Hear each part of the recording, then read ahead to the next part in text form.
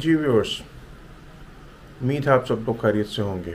आज की वीडियो में आपको दिखाते हैं कि जी ईकिया का फर्नीचर हम कैसे असम्बल करते हैं और किस कदर आसान होता है इसको असम्बल करना।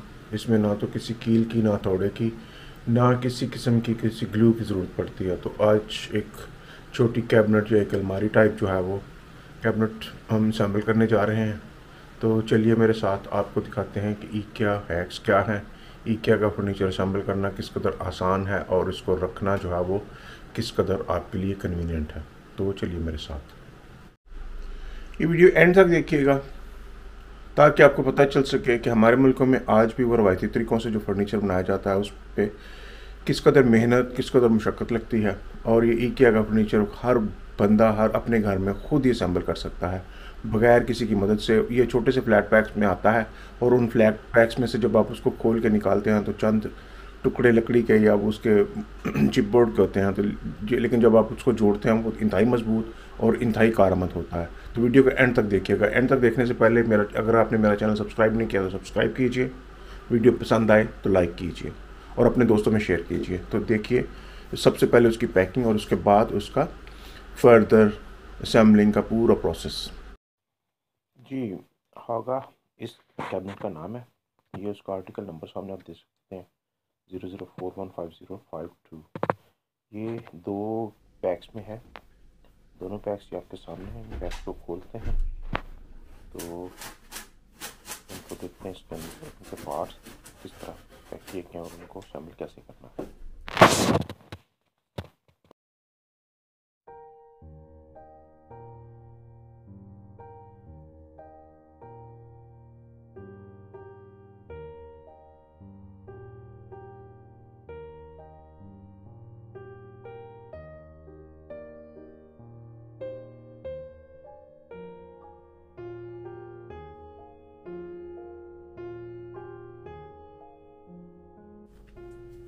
ये जी हमने इसको खोल लिया पैक्स को।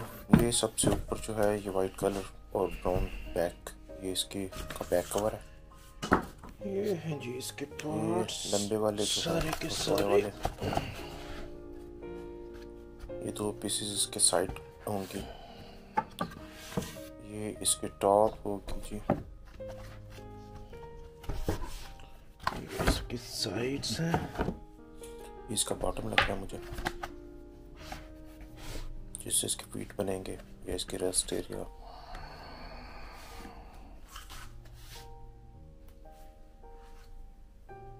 ये पैकिंग है इसकी आप देख सकते हैं आपके सामने खुली पड़ी है। तो आप दूसरा पैक दूसरे पैक्स में इसके स्टेप वन पे है। इसकी जो साइड्स हैं कंप्लीट गाइड हमने सबसे पहले इस पे उनको कारपेट को ऐसे कर दिया क्या होगा कि इसको बनाना कैसे है। लेकिन उसमें जो सबसे इम्पोर्टेंट चीज़ है वो ये है कि इसको ज़मीन पर रख के नहीं बनाना, अपने कारपेट के ऊपर रख के या किसी भी चटाई के ऊपर रख के बनाना है ताकि इसको स्क्रैचेस ना आए, कोई रगड़ ना लगे। ये पूरा इंस्ट्रक्शन मैनुअल इसके साथ। है और यही इंस्ट्रक्शन मैनुअल होता है जिसके अगर आप फॉलो करते रहें इंस्ट्रक्शन तो आप विद इन मिनट्स इसको असम्बल कर लेते हैं। ये ईकिया हैक्स हैं, बड़े कमाल के हैक्स हैं, जिनको आज के ज़माने में do it yourself D I Y कहते हैं। Do it yourself so ये इंस्ट्रक्शन मैनुअल मेरे सामने पड़ा हुआ है।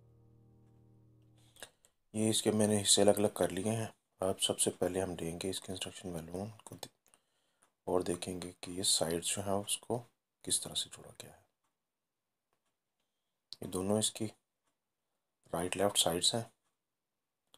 और राइट लेफ़्ट साइड्स के अंदर हमने ये पिंस लगा दी हैं। वाइट कलर की। ये आप देख सकते हैं कि ये सारे होल्स हैं। और ये दोनों पिन हमने जब लगाई तो ये हमारे पास एक चौकटा सा बन गया।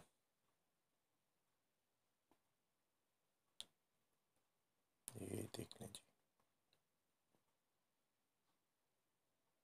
ये पिन होल्स हैं। इन पिन के होल्स के अंदर पिन को लगाना ही जो है ना, वो ही सबसे अहम और ख़ास टेक्निक का काम होता है। ये आपके सामने चोपटा बन गया है, इसको पाँच मिनट भी नहीं लगे अब हम इसके लगाएँगे जी बैक, इसका बैक कवर। तो बैक कवर लगाने के लिए हमें इसको उल्टाना पड़ेगा कारपेट पे ये आप देख सकते हैं चारों तरफ़ से। किस कदर आसान है। लेकिन ये सिर्फ़ पिंस लगी हैं अभी और कुछ नहीं लगा। कोई कील कोई ग्लू नहीं लगा, लेकिन ये किस कदर मज़बूत हो गई है कब हिल नहीं सकती। ये आप देख सकते हैं, उसकी जो है ना वो, उसमें ग्रूविंग हुई हुई है। ये इसकी रिवर्ट्स हैं। जिन रिवर्ट्स के साथ इसके बैक कवर जो है वो लगेगा। ये रिवर्ट्स हम बैक कवर लगाने से पहले इस मेन बोर्ड में, इसके बेस में लगा लेंगे।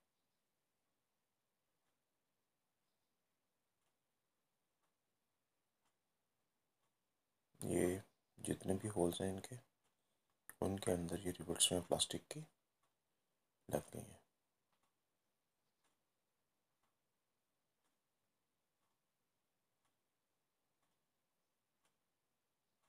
ये दूसरी साइड पे हमने लगा लिए। ये चार चार रिवर्ट्स जो हैं वो दोनों साइडों पे हैं। आप देख सकते हैं। अब हम ये जो बैक कवर की वाइट शीट सबसे ऊपर पड़ी थी, उसको निकाला और इसको इन जहाँ ये ग्रूविंग हुई हुई है, इन ग्रूव्स के अंदर इसको डाल के तो इसको स्लोली मूव करेंगे।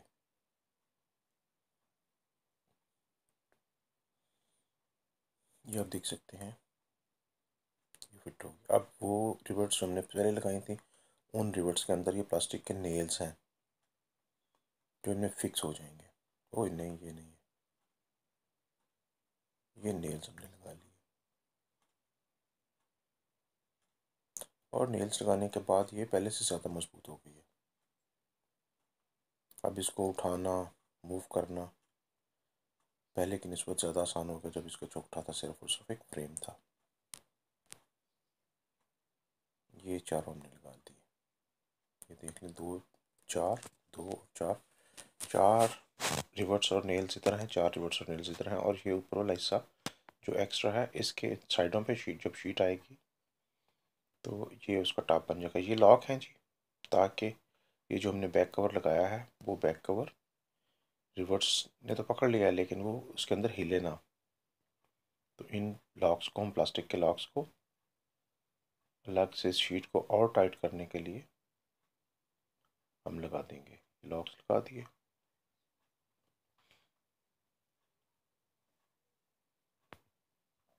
ये आप देख सकते हैं कि लॉक्स जो हैं।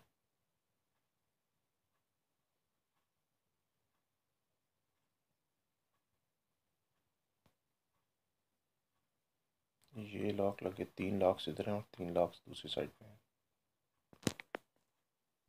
अब इसकी शक्ल ये बन चुकी है। अब हमने इन सुराखों के ऊपर इसकी साइड वॉल्स जो हैं वो फिक्स करनी है। ताकि दो स्टेप्स जो उसके ऊपर बनने हैं, वो बन सके। ये आप देख सकते हैं अंदर से ये मुकम्मल हो गई है।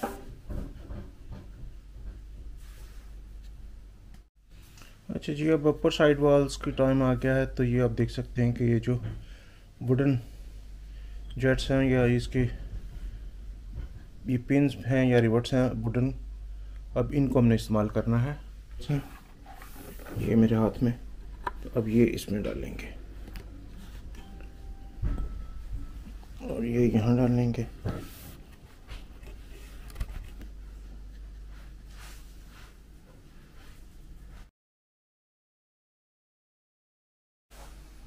ये लें जी। ये हमने उसका ऊपर टॉप उसकी साइड वॉल्स और टॉप को फिक्स कर दिया है। बगैर किसी ग्लू किसी स्क्रू या किसी गम के और अब इन वुडन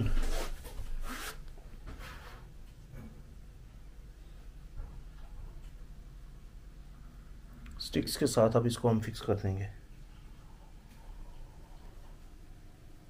हमने अपर और लोअर पोर्शन को मज़बूत करने के लिए हम यहाँ लगा रहे हैं मेटल की प्लेट्स। अपन मेटिकल प्लेट्स में पहले की तरह वही प्लास्टिक के स्क्रू लॉक्स लगाए।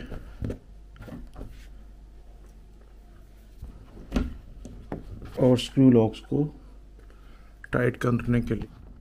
लगा दिए ये प्लास्टिक की रिवर्स या नेल्स उसके। तो आप देख सकते हैं कि ये प्लास्टिक प्लेट्स में दोनों तरफ़ हमने लगा दिए और उनके अंदर स्क्रू लॉक्स या रिवर्स लगा के उनके अंदर फिर ये प्लास्टिक के नेल्स जो हैं वो दबा दिए ताकि ये मेटल की प्लेट्स जो हैं वो ऊपर और लोअर पोर्शन को अच्छी तरह ग्रिप कर लें। तो आप देख सकते हैं कि किस कदर आसानी के साथ ये दोनों पोर्शन अपर और लोअर जुड़ गए हैं। अब ये इसकी बैक सपोर्ट के लिए अगर हमने दीवार के साथ इसको फिक्स करना है तो ये इसके प्लास्टिक के दोनों साइड पे बैक लॉक लगा दिए और अब हमने ये टी, प्लास्टिक की टी टाइप्स, ये कॉर्नर्स लगा दिए हैं, ऊपर वाले पोर्शन और लोअर वाले पोर्शन पे, ताकि ये जब दीवार के साथ लगे तो विन बोर्ड के ऊपर ये जो प्लास्टिक का लेमिनेशन है, ये लेमिनेशन फट ना जाए या ख़राब ना हो जाए। और दूसरा, दीवार के साथ लगाने में किसी किस्म की प्रॉब्लम ना हो। और दीवार को भी रगड़ना। ये हमारे पार्टीशन बोर्ड्स हैं, और इनके ये छोटे छोटे से प्लास्टिक के जो पीसेस हम लगा रहे हैं, ये बेसिकली लगा रहे हैं कि जब दरवाज़ा बंद हो तो वो जो टक की आवाज़ आती है, वो टक की आवाज़ ना आए। तो ये हमारी फ्रंट साइड पे आ जाएँगे। ये पार्टीशन बोर्ड है।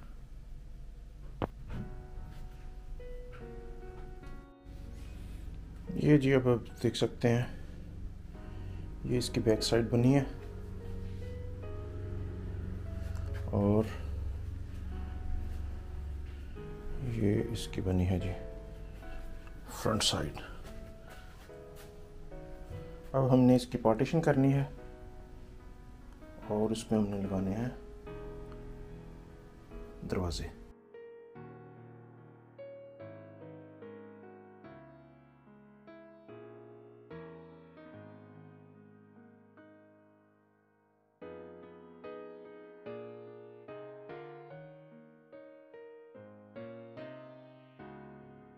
ये हमने इसके कब्जे लगा दिए हिंजेस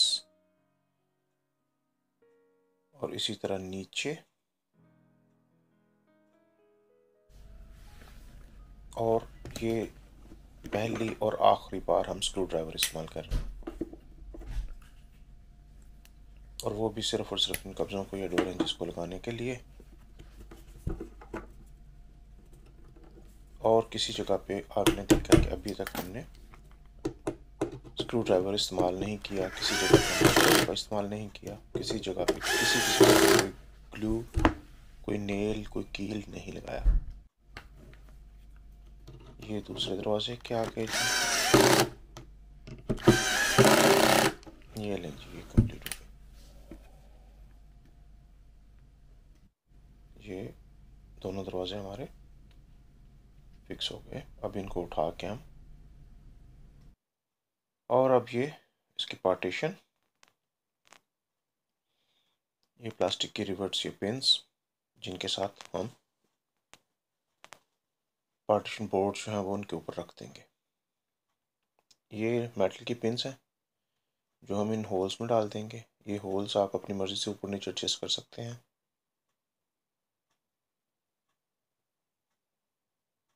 ये ऐसे ही एक पीछे और दो रिवर्ट्स या पिंस दूसरी साइड पे। और टोटल चार रिवर्ट्स के ऊपर एक बोर्ड जो है वो स्टे कर जाएगा। ये तीन होल्स हैं, इनमें आप अपनी मर्ज़ी से सेटिंग ऊपर या नीचे कर सकते हैं, जिस किस्म की आपने चीज़ें रखनी है, उस किस्म की आप एडजस्टमेंट कर सकते हैं। या आपकी कन्वीनियंस के लिए उन्होंने पहले से ही सेटिंग इस किस्म की बनाई होती है कि आप अपनी मर्ज़ी से उसको जहाँ मर्ज़ी फिक्स कर लें।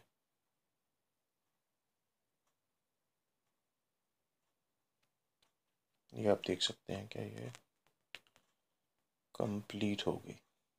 अब इसमें हम बोर्ड रखते हैं। ये आखिरी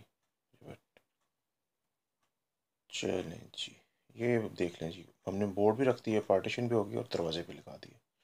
ये बिल्कुल अब आपके लिए उसको उठाएँ और रखें। और ये सामने आप देख सकते हैं, ये छोटे छोटे जो पीसेस हमने लगाए हैं, ये पीसेस उसको सिर्फ़ इसलिए लगाए हैं कि जब आप दरवाज़ा बंद करें तो वो जो एक टक की आवाज़ आती है, जो बहुत कानों को बुरी लगती है, वो टक की आवाज़ आपको ना सुनाई दे। आप मुझे फॉलो कर सकते हैं इंस्टाग्राम पे और मेरी ये वीडियोस देख सकते हैं फेसबुक पे भी। नॉर्डिक मिरर के नाम से और इंस्टाग्राम पे Salim zero one zero five के नाम से। So see the cabinet is ready अब आप यहाँ से इसको उठाएँ और इस्तेमाल करें। सो so, नाजरीन तो उम्मीद है आपको इकिया के हैक्स इकिया की फर्नीचर जोड़ने की वीडियो पसंद आई होगी। अगर ये वीडियो पसंद आई है तो लाइक का बटन दबाना मत भूलिए। और अगर अभी तक आपने मेरा चैनल सब्सक्राइब नहीं किया तो मेरा चैनल सब्सक्राइब कीजिए। मैं हूँ आपको बहुत मशहूर। तो अगली वीडियो तक रब रखा।